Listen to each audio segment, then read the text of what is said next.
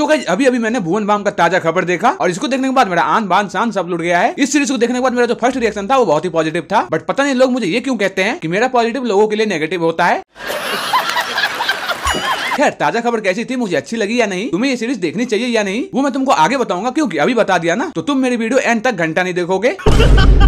तो सबसे पहले बात करते हैं अपने भुवन बाम के बारे में। तो कैसे अच्छा लगता है जब कोई बंदा अपने टैलेंट के दम पे इतना सक्सेसफुल हो जाता है? नहीं तो कितने लोग टैलेंट के दम पे नहीं बल्कि बाप के दम पे आते हैं। और आई थिंक वही सक्सेस भुवन बाम की ये वेब सीरीज़ सेलिब्रेट करती है। भुवन बाम ने एक छोटे से घर से एक छोटे से फ़ोन से वीडियो बनाना स्टार्ट किया था। बट अभी देखो वो कहाँ पहुँच चुके हैं। और मैं भी एक छोटे से घर से एक छोटे से फ़ोन से ही वीडियो बना रहा हूँ। तो सोचो मैं कहाँ पहुंचूँगा? क्या मतलब नाला सुबाड़ा में? अब पर्सनली मैं भुवन बाम का बहुत पुराना सब्सक्राइबर हूँ और मैंने उनकी हर छोटी छोटी सक्सेस को देखा है और देख के जला भी हूँ। बट बीबी के बारे में एक बात ज़रूर कहना चाहूँगा कि बंदे में पोटेंशियल तो है। वो खड़े खड़े अपने टैलेंट से किसी का भी पैंट गीला कर सकता है। क्यों अमित भराना तो ताज़ा खबर एक वेब सीरीज़ है जिसमें टोटल छह एपिसोड है और ये सीरीज़ हॉट स्टार पर रिलीज़ हुई है। पर अब तुम कहोगे कि अबे कुछ नया बोल ले तो हम भी जानते हैं। तो भाई जय जवान जय पठान।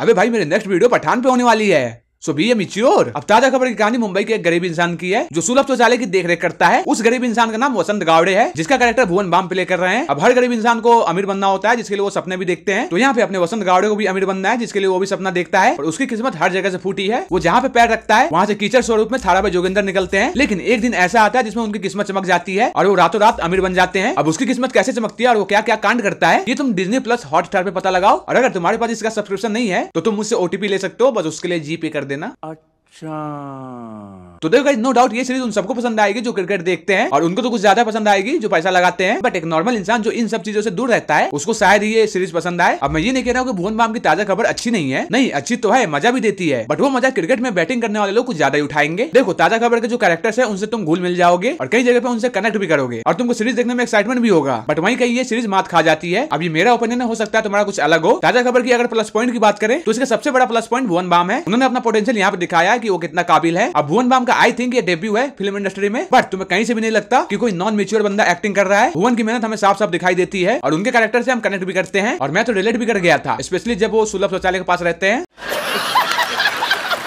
ताज़ा खबर की दूसरी प्लस पॉइंट इसकी एपिसोड की लेंथ है। अब नॉर्मली वेब सीरीज़ के एपिसोड लगभग 40 से 50 मिनट के होते हैं, पर वही भुवन के ताज़ा खबर का हर एक एपिसोड 25 से 30 मिनट का है, और इसके कारण ये सीरीज़ हमें अपने से जोड़े रहती है। मतलब अगर इसका लेंथ 40 से 50 मिनट का होता तो 100 परसेंट तुम्हें से आधे लोग इसको देख के बोर हो जाते बट लेंथ कम होने से ऐसा कुछ नहीं होता, और लेंथ छोटा करना मेरे हिसाब से बहुत ही अच्छा डिसीज़न था। थर्ड प्लस पॉइंट ताज़ा खबर की तीसरी प्लस पॉइंट इसकी सपोर्टिंग एक्टर्स एंड इसकी सिनेमाटोग्राफी है। अब सीरीज़ में जितने भी साइड एक्टर्स है, उन्होंने अपना काम बखूबी निभाया है। मतलब उन्होंने भुवन बाम का साथ ऐसे दिया है कि जैसे जॉनी सिंह का साथ अबे टीटू मामा बोल रहा था। जिस स्टाइल से हमारे सामने चीज़ें प्रेजेंट की जाती है वो भी अच्छी थी। देखो भाई दुनिया में तीन तरह के लोग रहते हैं। पहले एक्टिंग करने वाले दूसरे ओवर एक्टिंग करने वाले और तीसरे एक्टिंग में जी फार देने वाले। और मैं इनमें से कोई भी नहीं हूँ।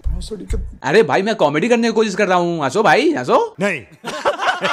ताज़ा खबर देखने के बाद तुम्हें कुछ मिले ना मिले बट तुम ये ज़रूर मांगोगे कि वसंत गावड़े का फ़ोन जैसा तुम्हें भी कोई फ़ोन मिल जाए। अब वसंत गावड़े का फ़ोन इस लाइक कोई मिल गया का जादू? भाई के पास फ़ोन आने से ऐसे ऐसे कांड होते हैं, जो तुम्हें सीरीज़ देखने के बाद ही पता चलेगी। बात करें अगर सीरीज़ की विलन की तो एक यही चीज़ थी जो मुझे सही नहीं लगी। अब आमतौर पर विलन हीरो की गेंद फाड़ देता है बट यहाँ पे तो उसकी पहले से ही फटी पड़ी है। हमें ऐसा लगता है कि अब विलन कुछ करेगा, अब विलन कुछ करेगा बट उसका तो दो ही मिनट निकल जाता है, जैसे मेरा निकल जाता है।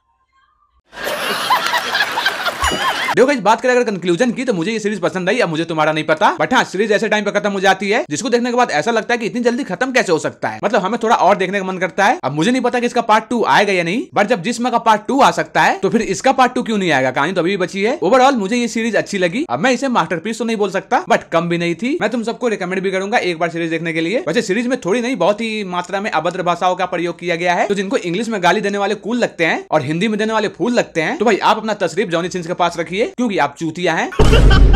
बाकी गाइज़ अगर तुमने ये सीरीज़ देख ली है तो मुझे ज़रूर बताना कि तुम्हें ये सीरीज़ कैसी लगी और भुवन बाम का परफॉर्मेंस भी। खैर इसी के साथ मैंने और भी टॉपिक की बात की है जो तुम्हें देखनी चाहिए। एंड अगर तुम यहाँ तक आई गए हो तो चैनल को सब्सक्राइब कर लेना गाइज़ बाकी मैं मिलता हूँ तुमसे अगली वीडियो को मजदूरी में। तो thank you guys thank you so much coming bye